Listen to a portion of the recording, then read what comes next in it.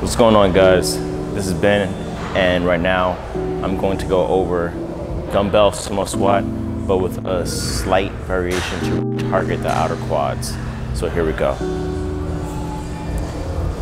You set, you set up with your dumbbell, get into position.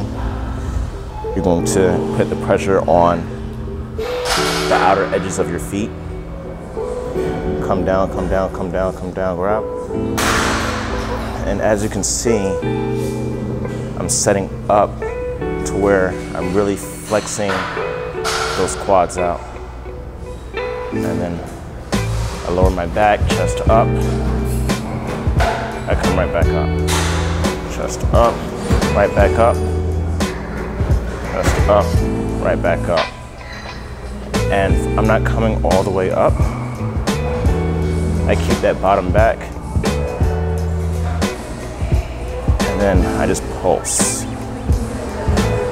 I pulse, I pulse, I pulse.